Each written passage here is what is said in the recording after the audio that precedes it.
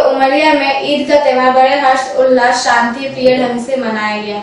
जिला उमरिया मुख्यालय स्थित ईदगाह में सैकड़ों मुस्लिम भाइयों ने एक साथ ईद की नमाज़ अदा की और नमाज़ के बाद सभी मुस्लिम भाइयों ने वहाँ पर उपस्थित सभी लोगों को गले लगाकर एक दूसरे को ईद की मुबारकबाद देते हुए उनके सुंदर भविष्य की कामना की। वहीं इस मौके पर कलेक्टर माल सिंह, पुलिस अधीक्षक डॉक्टर असित यादव, एसडीएम ऋषि पवार, कोतवाली टीआई विपिन सिंह, भाजपा नेता शंभू खट्टर, कांग्रेस के जिला अध्यक्ष राजेश शर्मा सहित कई अधिकारी, कर्मचारी, गणमान्य नागरिक एवं पत्रकार बंधु उपस्थित रहे।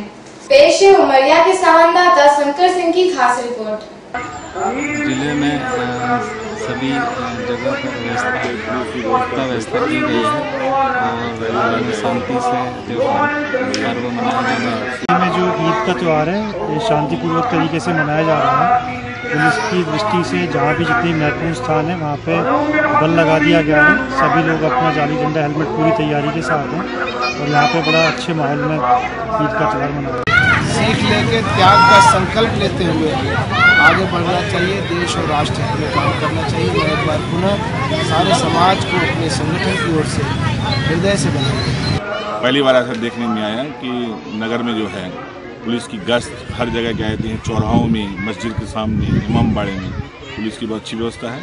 शांतपूर्ण ढंग से ईद का त्यौहार मनाया जा रहा है। मुझे मेरी ओर से नगर पालिका परिषद की ओर से, सांसद जी की ओर से सबको ईद की बहुत बहुत शुभ Thank you.